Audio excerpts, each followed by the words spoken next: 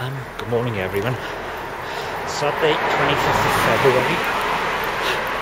Two months since Christmas.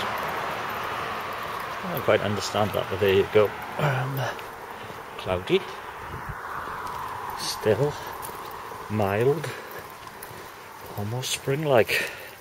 Anyway, listening to Bagel Tech News, so a big shout out to CEO and Rankin. Um, hashtag UK2. So today, still more the Ale Trail, heading north, Big Carl Land, meeting up with Big Carl later. And I'm going to try rendering this 720p on my netbook.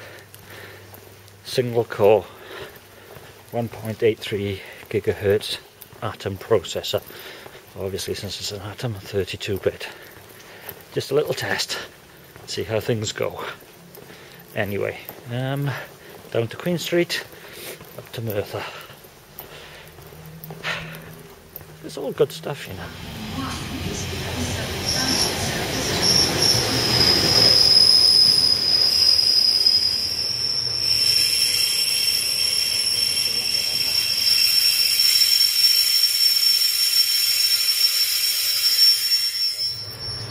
And here's Merthyr. Mm, there's Tesco and Choo Done this before, but this one's in 720p. Ooh. The Dic Penderyn. And here we go. So, um, and I'm upstairs again. Not the best of starts. They now don't open till 9 o'clock and can't get past the Wi-Fi's landing page. However, it means I can hit the floor running with a coffee and a pint. This is Butcombe Original Bitter, come from Bristol area, southwest. Um, well-known beer that you get in Bristol Airport, 4% alcohol by volume. Dark, the small head ale. Traditional ale. Very bitter. No, not very bitter, but nicely bitter. Mmm, nice bitter. Is the correct term finish or aftertaste? I'm not sure. That's a B plus. That's a quite like a session ale. I like that.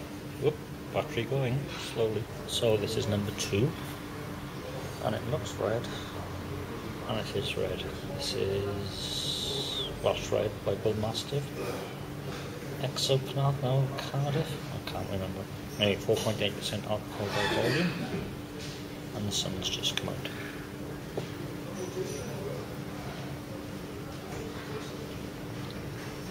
Mm.